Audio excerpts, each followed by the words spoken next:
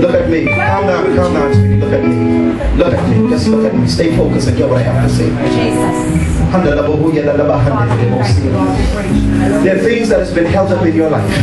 You know what I'm talking about. I'm not lying to you. I don't have time to waste your time. And I definitely don't need you wasting mine standing here. And I hear God saying before the year is out, I'm about to turn it around. I'm about to shake your foundation. I don't know about you, but I see a piece of real estate. And I see God loosening. I see God. I see the man building. and that dumb spirit is about to leave your life. That dumb spirit is about